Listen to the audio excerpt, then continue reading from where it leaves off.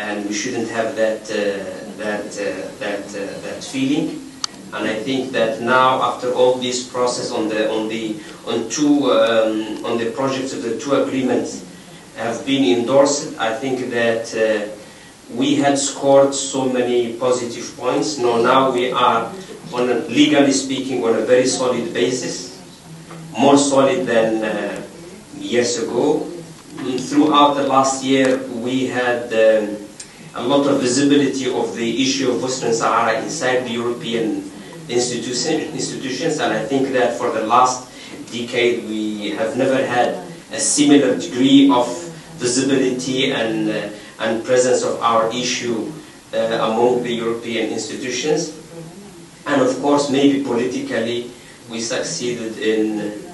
in provoking a sort of contradictions between the, some Euro individual European states, the process between the Commission towards the Parliament, between the polit different uh, political uh, groups, and I think that uh, now that the battle, at least this part of the battle is behind us, we, uh, we are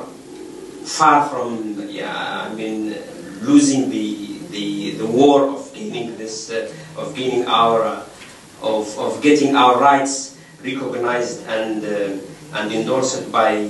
by, by, by Europe. Uh, and uh, and of course what Paloma was saying, I think it's on the right uh, on the right direction. Now it's a time of reflection,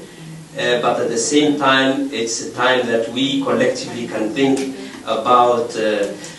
sort of maintaining this momentum and preparing for the new phase after the after after the appeal and after the new parliamentarian elections. But we are really, it's not a defeat at all, and I think that we gained uh, uh, a lot,